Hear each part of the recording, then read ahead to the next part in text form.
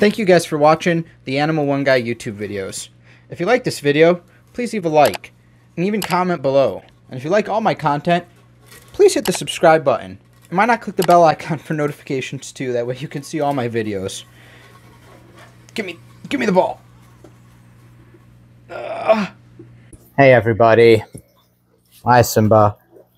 This is a video I think a lot of people will make something like this, and I don't want to jump on the quick, you know, bandwagon of. Um, it's not clickbait, but making videos just for views. But I, I really need to make a video on this because it's, it's affecting me, and I think emotionally, and it's going to affect uh, everybody in the reptile community, or it should. It should at least, and whether it affects people negatively or positively, this should be affecting. You know, this is not a good thing. So Brian Barczyk is entered hospice. They can't do anything for his cancer. We kind of look. So my great uncle died of the exact same thing less, you know, a year ago.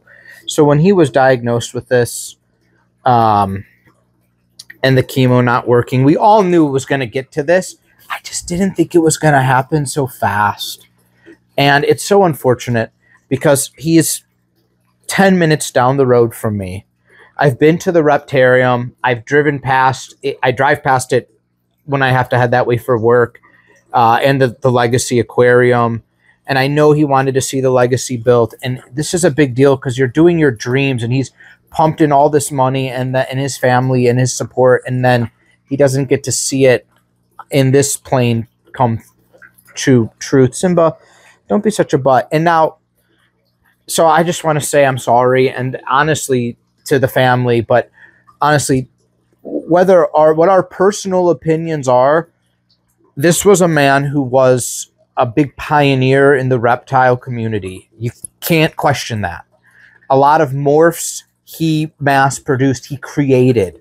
Ball python market in the US, that was Brian Barczyk and some other people, but he was one of one of the first mainstream. And in terms of the biggest reptile channel. Now, I wasn't the biggest fan of the channel because, you know, the manic and the jokes, and I'm more of the educational. But there was a market for that, especially kids getting into reptiles, seeing funny things like that. It's the way to go. Having a near complete hands on reptile zoo was something like you never saw before and with the people there, although you see Mike and his staff act funny and act, um, you know, like goobers for the videos, when you went there, they know their stuff about reptiles and they can educate and they're good with people. And so it is just, this is a sad loss. The reptile community, when, you know, when you enter hospice, it doesn't mean you're dead right away our great uncle who had pancreatic cancer was in hospice for a couple months actually um, but that's it. That means medically, they're not doing anything else. And, uh, you know, I just want to make sure people understand what a loss this is for the reptile community. Even though his channel will keep going on and the the reptile zoo will be there and the, they say the aquarium's going to open it's got to at this point they're right there guys um, it's still not it, it's a loss losing this person, and it's never good to lose anyone. And I had a different video planned for today, honestly.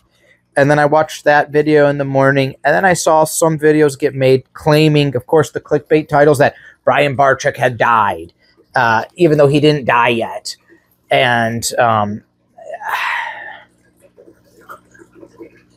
I don't know, guys. It just sucks, right? Like we are definitely losing a pioneer in the consumer reptile world. And uh, Animal Con, things like that, those are big deals. And those are there because of him. So, uh, it's just what it is. Like I had planned on meeting him and helping with the aquarium getting set up. Like I said, it's right down the road. And it's unfortunate that the two times I went to the reptarium, both times he himself was not there. I think it was his granddaughter's birthday on one of the times and, and everything. But so, um, you know, no flaming. The guy was a pioneer in your personal things, but it's never good. A family is losing a father, a grandfather, a husband, a brother, you know, etc. Um, so thoughts and prayers go out to the family. Uh, and that's it, guys. T- just take care. We'll hopefully we'll have another cheerful video next week. Thank you guys for supporting my reptile rescue family.